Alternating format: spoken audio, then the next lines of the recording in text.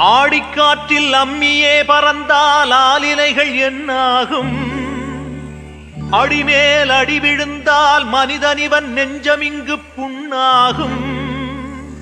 வரும் துன்பம் ஏற்க முடியாது என்றே எவனாலும் சொல்ல முடியாது போடா. வருவதையெல்லாம் ஏற்றுக்கொள்.